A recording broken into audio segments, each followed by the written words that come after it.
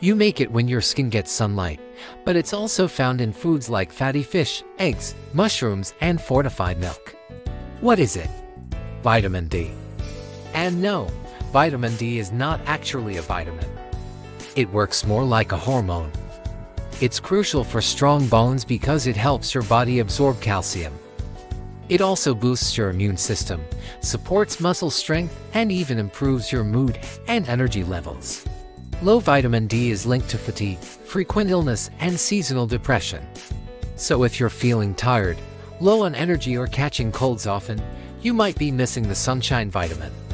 To get more, spend 10 to 20 minutes in the sun a few times a week. Eat foods that are rich in vitamin D or consider taking a D3 supplement if you are not getting enough. So if you want stronger bones and better energy, don't skip your vitamin D and for more quick health science tips, subscribe to my channel.